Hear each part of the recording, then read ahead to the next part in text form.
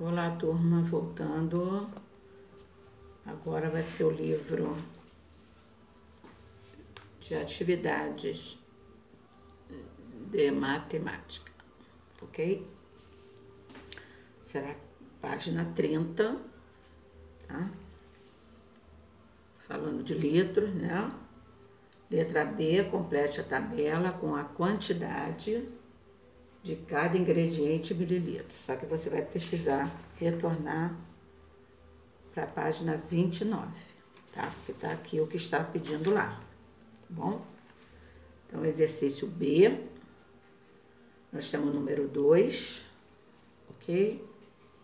Marcela comprou uma garrafa de suco concentrado de goiaba, tá bom?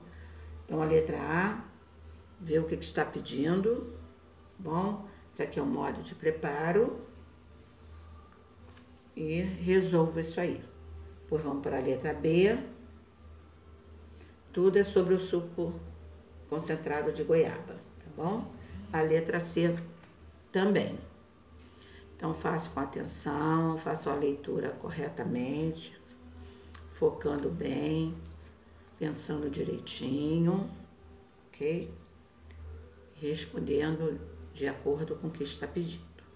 Tá bom assim? Então, até a próxima aula. Tá bom? Tudo de bom para vocês. Beijão e um abraço. Terezinha e tia Débora. Tá bom?